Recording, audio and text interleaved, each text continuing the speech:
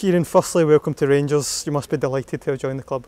Buzzing, yeah, nice one. Um, obviously, really glad to get it done early and into uh, towards the end of the season.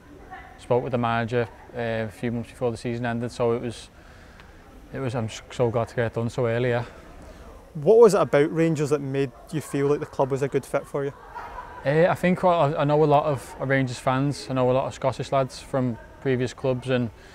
they just speak so highly of the club, um, the intensity of it, the, pre the pressure of it, which I guess is a, a really good pressure. Um, we expected to win every game and obviously the European game, so there's so many, so many positives what really convinced me to come here, yeah.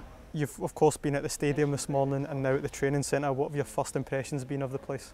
It's class. It's, uh, it's really nice. Um, obviously the, the historic stadium, which is um, which we had a little look around this morning um, in the trophy room and stuff like that. It's just I've not seen nothing like that in another in another club. It's it's a, it's can already see it's such a special club.